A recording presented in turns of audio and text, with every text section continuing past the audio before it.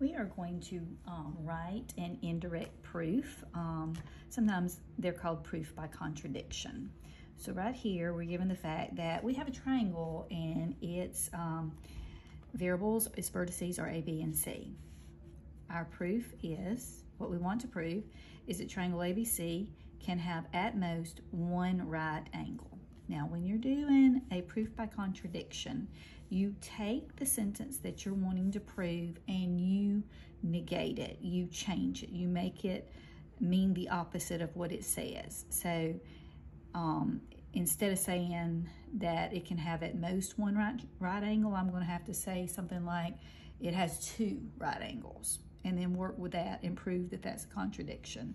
So I'm going to start off by saying, let's assume that triangle ABC has two right angles. So that's the opposite of what we wanted to prove.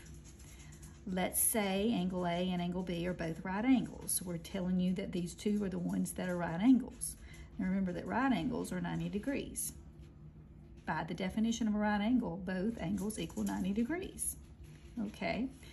Then think about the triangle sum theorem. The triangle sum theorem stated that angle A added to angle B added to angle C would equal 180 um, because all the degrees in interior angles of a triangle will always be 180. If we substitute 90 degrees into A and B, it'll look like this.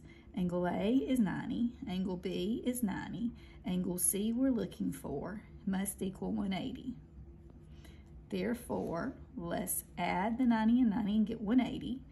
180 plus the measure of angle C equals 180. We're solving for C. We will subtract 180 from both sides, and we're left with these canceling and these canceling.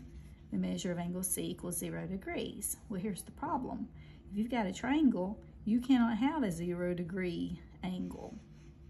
Triangle cannot have an angle measure of zero degrees.